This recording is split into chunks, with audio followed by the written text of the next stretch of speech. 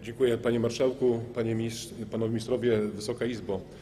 Y, Znaczy nowelizacja jest bardzo potrzebna. Ja byłem właśnie w tej grupie posłów, którzy rozpoczęli tą inicjatywę i dam przykład tylko właśnie inw- inwestycji, które są na Pomorzu, na przykład realizacja y, terminalu lotniczego w Gdyni. Y, Jak wiadomo, że to była specustawa, zezwolenie wydawał tutaj, pozwolenie na budowę wydawał wojewoda.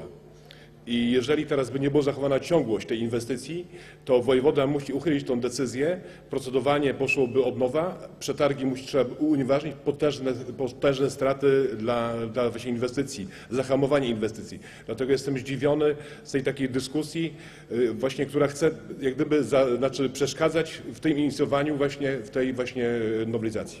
Dziękuję.